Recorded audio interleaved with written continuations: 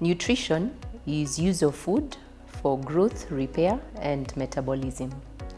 So the assessment in a chronically ill patient, this being a patient who has a long-term illness, chronic, as opposed to acute, is assessed through a taking the history, where the patient tells you what he's been going through.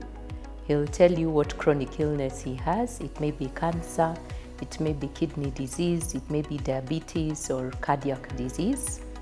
They'll tell you about the drugs they take. And all this helps you to assess and, uh, and expect what their health status or their nutritional status is going to be.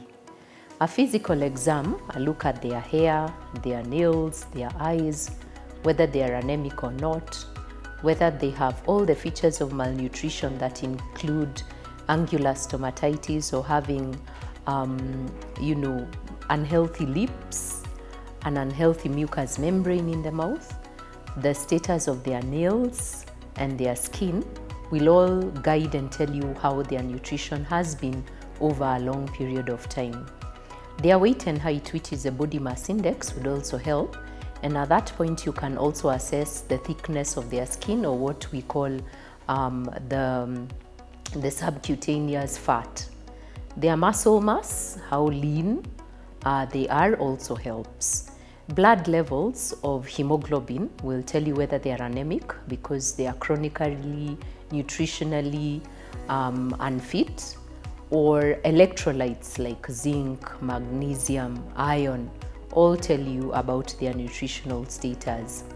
The general health status or what we call performance status, that's the energy levels of the patient, also give you an idea about how nutritionally fit or unfit they are. Can they walk on their own? Can they get up from a sitting position on their own? Do they get short of breath or lose energy over short, walking short distances? That can also tell you what their nutritional status is.